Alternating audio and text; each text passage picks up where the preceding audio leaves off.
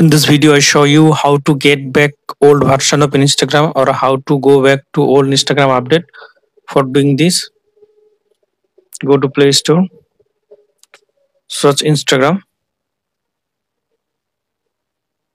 tap on it, tap on uninstall, uninstall. Now open Google Chrome or any browser. Now search for Instagram old version APK.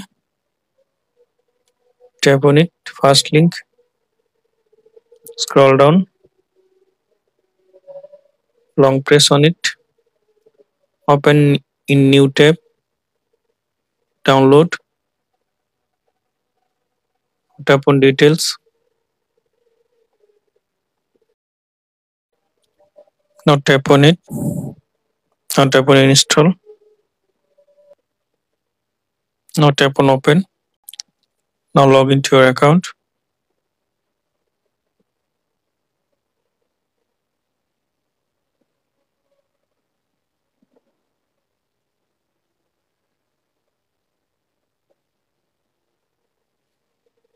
now you can see that in instagram old version ui now i hope that this method fixes